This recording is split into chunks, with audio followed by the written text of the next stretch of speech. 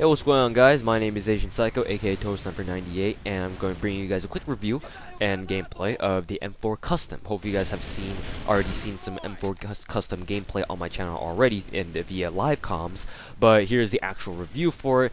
Of course, uh, the only two, or not, I should say only two, but most of the clones, or the variants, I, should, I shouldn't say clones, variants of weapons in Arctic Combat are basically just cosmetic and uh, bullet modifications to the original guns themselves, not like combat arms where they actually improve the statistics. The M4 Custom still shares the same statistics as the original M4A1, however, it comes with the default, uh, I think it's like a how should I say? It look it it modify it it resembles a SOPMOD from Combat Arms. It's, it looks uh, it looks very similar in terms of if it's a skin camo.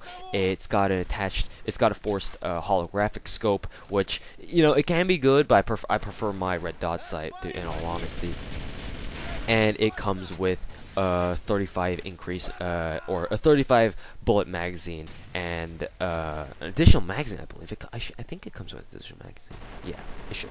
Of making bumping up its ammo count to a total of 35 rounds of magazine out of 140 in reserve. So what this means for you is that it, you have uh, the M4 Custom is obviously better than the M4A1 because of the fact that it has more ammo. You start with more ammo and you have more ammo per magazine, so it is very useful in that regard. So if you consider it worth your time, uh, or if it, if you consider it worth your money to uh, buy an M4A Custom because of the fact that it has an increased magazine count, go ahead, go right ahead because honestly, it, it is it is actually pretty good because you know the M4A1 has a really high rate of fire. It chews through bullets really fast, so having that additional five rounds may make or break, um, you know, any gunfight of yours that you may engage in. So that additional five round magazine, uh, that additional five rounds to your magazines is, you know, it may come in handy. You never know.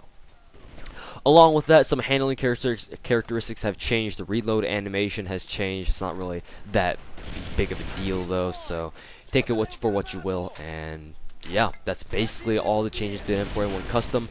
Uh, just like the AK-47 custom, uh, they're just basically all either cosmetic, either uh, both cosmetic and uh, ammunition related, munitions related uh, changes. So there you go. Thanks for watching, guys. And um, if you guys worth, if if you guys see it worth your money to go ahead and buy the M4A1 custom for 100 G coin for a day. I think they still have the sale going on. I don't know. Maybe it's already over. But yeah, thanks for watching, guys, and I will see you guys later. Good shit.